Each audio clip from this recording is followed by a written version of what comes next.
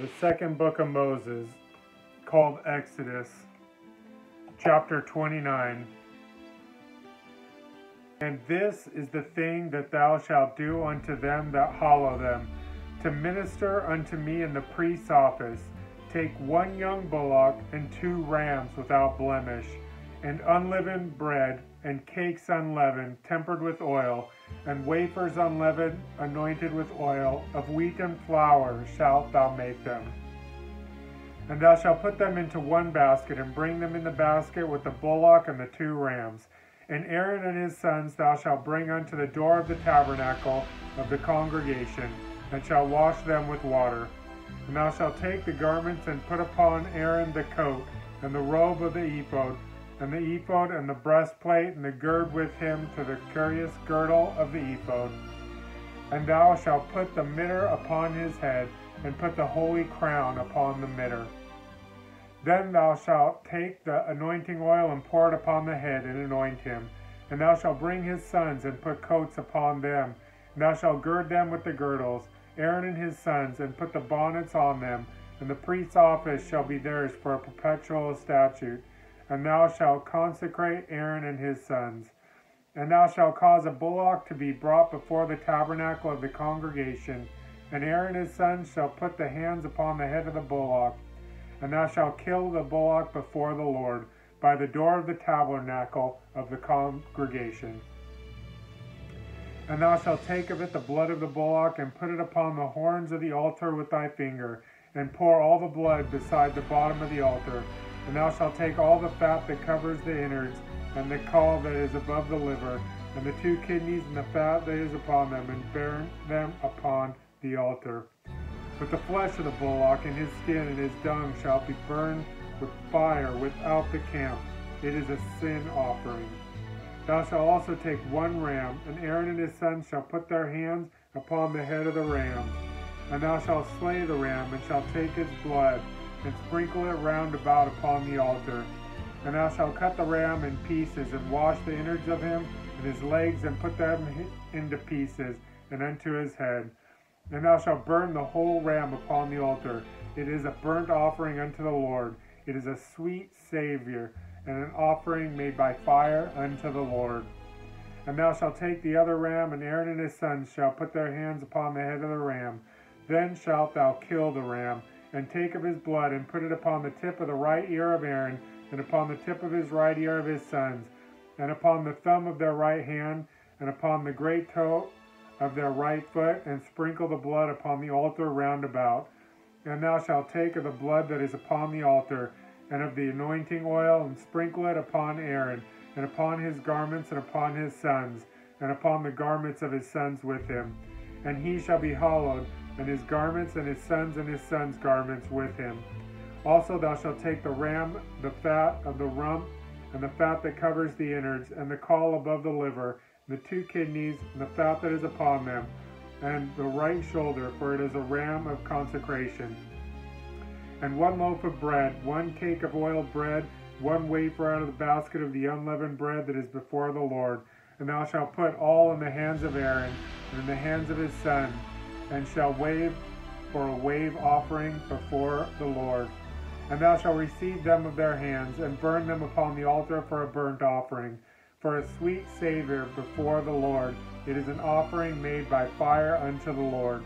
And thou shalt take the breast of the ram of Aaron's consecration, and wave it for a wave offering before the Lord, and it shall be thy part. And thou shalt sanctify the breast of the wave offering, and the shoulder of the heave offering, which is waved, and which is heaved up, of the ram of the consecration, even of that which is for Aaron, and that which is for his sons. And it shall be Aaron's and his sons, by statute forever from the children of Israel. For it is a heave offering, and it shall be a heave offering from the children of Israel of the sacrifice of their peace offerings, even their heave offering unto the Lord. And the holy garments of Aaron shall be his sons after him, to be anointed therein and to be consecrated in them. And that the son that is priest in his stead shall put them on seven days, when he comes into the tabernacle of the congregation to minister in the holy place. And thou shalt take the ram of the consecration and seethe its flesh in the holy place. And Aaron and his sons shall eat the flesh of the ram, and the bread that is in the basket by the door of the tabernacle of the congregation. And they shall eat those things wherewith the atonement was made to consecrate and to sanctify them. But a stranger shall not eat thereof, because they are holy. And if aught of the flesh be the consecrations, or of the bread remain unto the morning, then thou shalt burn the remainder with fire. It shall not be eaten, because it is holy. And thus shalt thou do unto Aaron and his sons according to all things which I have commanded thee. Seven days shalt thou consecrate them. And thou shalt offer every day a bullock for a sin offering for atonement. And thou shalt cleanse the altar when thou hast made an atonement for it, and shalt anoint it to sanctify it. Seven days thou shalt make an atonement for the altar, and sanctify it, and it shall be an altar most holy. Whatsoever touches the altar shall be holy. Now this is that which thou shalt offer upon the altar, two lambs of the first year, day by day continually. One lamb thou shalt offer in the morning, and the other lamb shalt offer in the evening. And with the one lamb a tenth deal for flour mingled with the fourth part of hin of beaten oil, and the fourth part of hin of wine for a drink offering. And the other lamb thou shalt offer at evening, and shalt do thereunto according to the meat offering of the morning, and according to the drink offering thereof, for a sweet savour, an offering made by fire unto the Lord. This shall be a continually burnt offering throughout your generations at the door of the tabernacle of the congregation before the Lord, where I will meet you to speak there unto thee. And there I will meet the children of Israel, that the tabernacle shall be sanctified by my glory. And I will sanctify the tabernacle of the congregation, and the altar, and I will sanctify also both Aaron and his sons to minister to me in the priest's office. And I will dwell among the children of Israel, and will be their God. And they shall know that I am the Lord their God, that brought them forth out of the land of Egypt, that I may dwell among them. I am the Lord their God. Chapter 30 And thou shalt make an altar to burn incense upon, of shittim wood shalt thou make it. A cubit shall be the length thereof, and a cubit the breadth thereof. Four squares shall it be, and two cubits shall be the height thereof. The horns therefore shall be of the same. And thou shalt overlay it with pure gold, the top thereof and the sides thereof round about, and the horns thereof, and thou shalt make it into a crown of gold round about. And two golden rings shalt thou make it to under the crown of it, and the two corners thereof, upon the two sides of it shalt thou make it, and they shall be for places for the staves to bear it withal. And thou shalt make the staves of shittim wood, and overlay them with gold. And thou shalt put it before the veil that is by the ark of the testimony, before the mercy seat that is over the testimony, where I will meet with thee. And Aaron shall burn thereon sweet incense every morning. When he dresses the lamps, he shall burn incense upon it. And when Aaron lights the lamps in the evening, he shall burn incense upon it, a perpetual incense before the Lord throughout your generations. You shall offer no strange incense thereon, nor burnt sacrifice, nor meat offering, neither shall you pour drink offering thereon. And Aaron shall make an atonement upon the horns of it once in a year with the blood of the sin offering of atonements. Once in the year shall he make atonement upon it throughout your generations. It is most holy unto the Lord.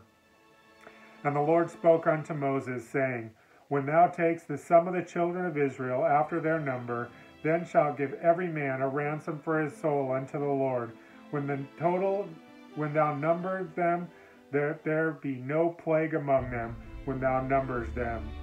This they shall give every one that passes among them that are numbered, half a shekel after the shekel of sanctuary. And a shekel is twenty gerahs. And half a shekel shall be the offering of the Lord. Every one that passes among them that are numbered, from twenty years old and above, shall give an offering unto the Lord. The rich shall not give more, and the poor shall not give less than half a shekel, when they give an offering unto the Lord to make an atonement for your souls. And thou shalt take the atonement money of the children of Israel, and shall appoint it for the service of the tabernacle of the congregation, that it may be a memorial unto the children of Israel before the Lord make an atonement for your souls. And the Lord spoke unto Moses, saying, Thou shalt also make a laver of brass, and his foot also of brass, to wash withal.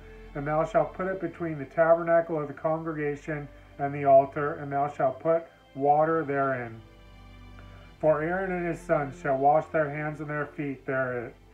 Where they go into the tabernacle of the congregation, they shall wash with water, that they die not. Or when they come near the altar to minister, to offer made by fire unto the Lord.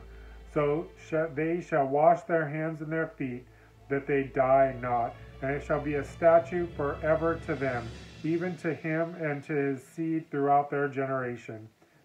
Moreover, the Lord spoke unto Moses, saying, Take thou also unto thee principal spices of pure myrrh, five hundred shekels, and of sweet cinnamon half so much, even two hundred and fifty shekels, and of sweet calamus two hundred and fifty shekels, and of cassia five hundred shekels, after the shekel of the sanctuary, and the olive oil and hin.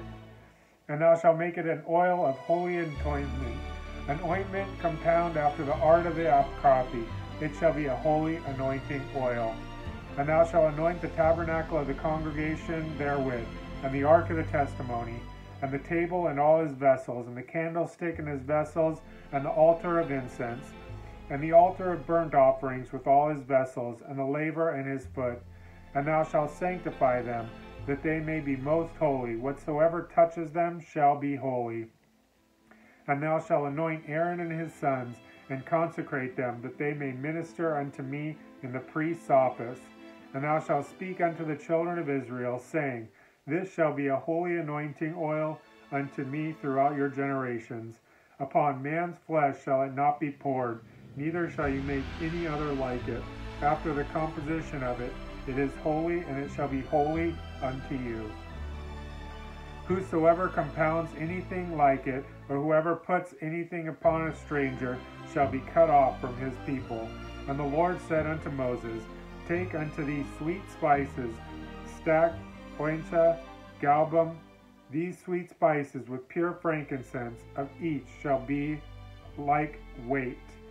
And thou shalt make it a perfume, a confection, after the art of the apothecary, tempered together, pure and holy.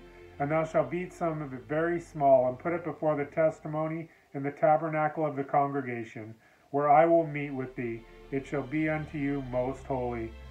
And as for the perfume which thou shalt make, you shall not make to yourselves according to the composition thereof. It shall be unto thee holy for the Lord. Whosoever shall make like unto that, to smell thereto, shall even be cut off from his people. This is the word of the Lord. Thank you. In your loving name I pray. I love you with all my heart and all my soul. Thank you, Lord. Amen.